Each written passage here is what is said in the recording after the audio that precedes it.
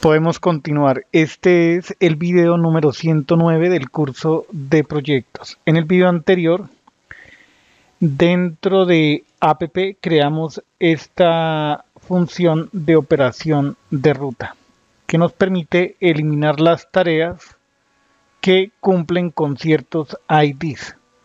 Los IDs se proveen desde la interfaz gráfica. Por ejemplo, Aquí en esta vista tenemos dos tareas finalizadas. Cuando demos clic en el botón eliminar tareas finalizadas, se deben eliminar estas dos tareas. Entonces vayamos al código de index.html y aquí en eliminar tareas finalizadas ocurre lo siguiente. Por cada tarea, por cada tarea eh, obtenemos los IDs. Eso ya ocurre.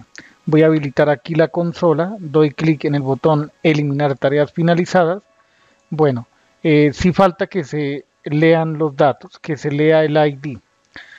Haré aquí que se imprima la tarea que se está iterando, tarea. Y veamos el contenido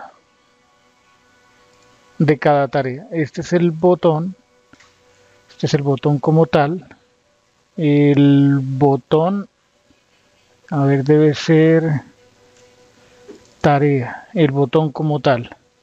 Y luego si decimos aquí tarea punto parent element solamente un parent element volvemos a ejecutar clic en eliminar tareas finalizadas y aparece el div.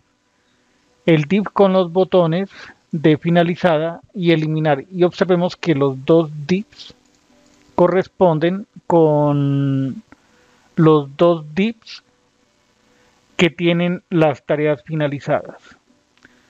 A ver. Actualizo la página. Son estos dos botones. Son estas dos regiones. Ah, lo voy a señalar aquí. Estas dos regiones son elementos LI. Cuando indicamos punto parent element, tiene que ser el elemento en donde se encuentran ambos botones. A ver, borremos esto, refrescamos, clic en eliminar tareas finalizadas y aparece un div. Este div, ah, ok, el div tiene eh, los otro div y ese div tiene los dos botones. Entonces tendríamos que decirle otra vez que vayamos al parent, al componente padre. Pensémoslo de esta manera. Tenemos una jerarquía así. Este es el padre que vendría a representar cada una de estas filas. Y al mismo tiempo tiene un hijo, que es el div que acabamos de ver, este.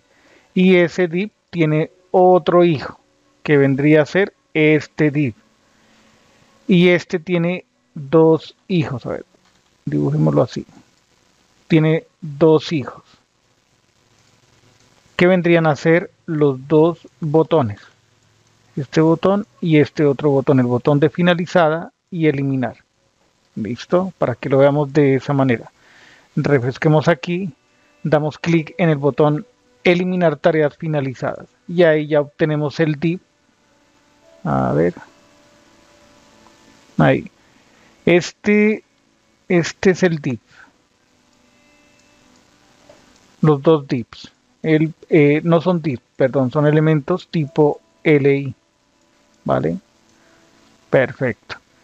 Entonces, ahí ya nos faltaría agregar otro eh, parent element. Podemos quitar este de aquí. Ok. Eh, ya está.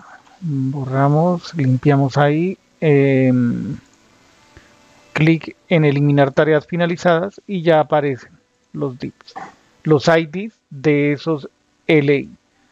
Perfecto. Entonces, em, cuando agreguemos, convertimos a entero. Los IDs son números enteros. Una vez más,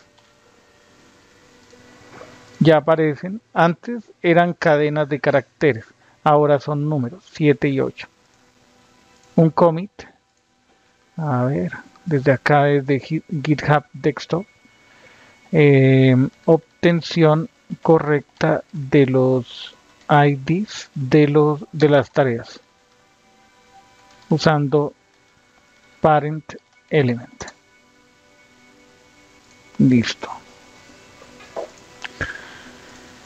Entonces, eh, solicitud eliminar tareas finalizadas. Aquí pasamos el arreglo de IDs de tareas. Esta función no existe. La podemos crear aquí. Y así sería, a ver, tareas, tareas todas delete.